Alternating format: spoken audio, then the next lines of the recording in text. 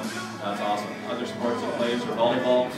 He aspires to be a major league player and make it to, make it to Cooperstown one day. I think would be awesome to see a Canadian in there, another Canadian. So keep looking for it. Pal. Favorite movie is Titanic, and my favorite actor is Leonardo DiCaprio. That would star in that, so I'm assuming that had something to do with it.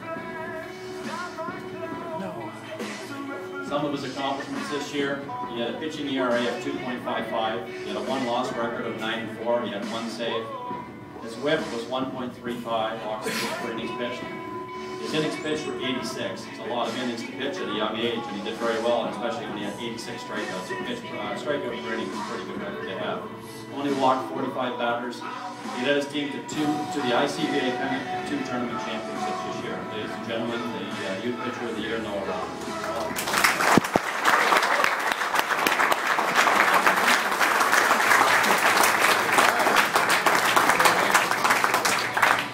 You are wondering who the song is, it's done by Imagine.